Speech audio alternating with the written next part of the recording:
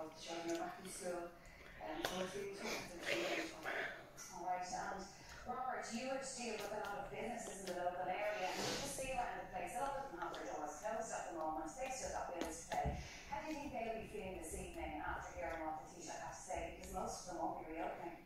Yes, yeah, it's, it's very difficult at the moment. We're, we're very disappointed that COVID 19 is still around at this level in, in the community and countrywide as well.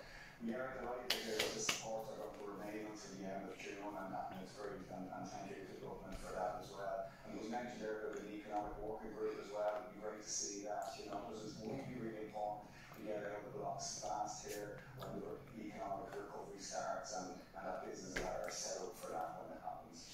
And after Ian Morrison, we heard the Taoiseach acknowledge this evening people are fed up.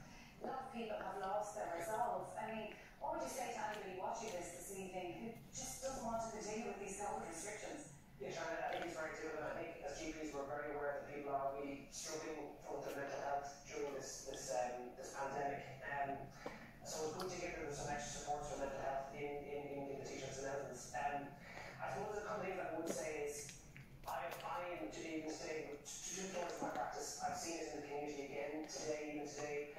It's actually it's still getting into vulnerable patients' uh, homes. It's still getting into nursing homes. So it's very much there, and we, we, we can't lose sight of that. And this variant to be so so infectious. But the great glimmer of hope that we have, the great I suppose ray of hope, is the vaccination program is really starting to, to, to, to happen now. So we got our first vaccinations in the practice today, and um, you know, it's great to see our really vulnerable patients, over 85 year olds, and you know, practically to, to a man and a woman, they were in, in our surgery today getting the vaccine, and that's going to give that group such, such, such hope because they have awful lot of living to do, and um, you know, I think that's the forward for. We know the vaccines are safe, we know the vaccines are really effective, and I suppose I would encourage everyone to really sort of get with the, the, the national vaccination program as, it, as it's rolled out. All right, thank you all for speaking to us this evening on 6 1 News. Well, as the Taoiseach said this evening, this new plan will proceed carefully and slowly, but he says there is an end in sight.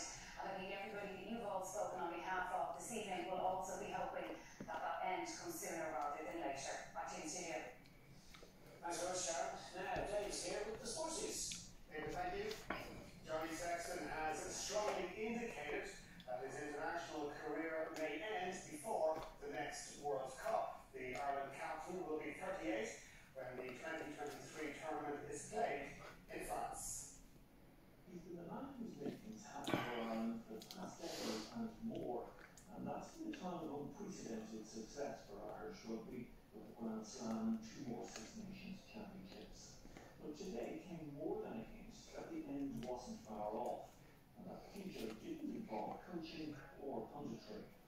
I have a fair idea what, what I'll be doing. Um, yeah, uh, never tell anyone your plans because they can change, can't they? Um, but uh, no, I've got some some things that I'll work towards over the next whether it's a year or two years, I don't know. Like um, you know, I'll work towards getting into the real world and, and starting a, another life. I think uh, there's some parts of this game that like I'm always really love and you, you love to be a part of it forever, but there's some parts that you can't wait to get a million miles away from. Uh, so uh, I love it at the moment. I'm loving every moment of playing, and I just want to focus on this campaign, and then if I stay on next year, just focus on, on that and, and try and make the most of what I was there.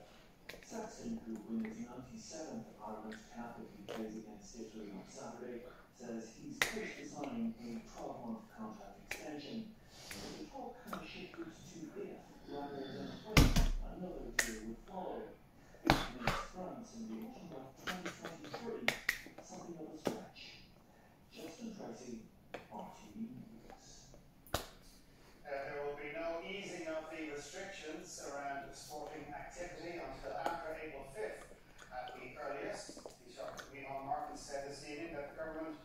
to ease restrictions on certain sporting activity during the next phase.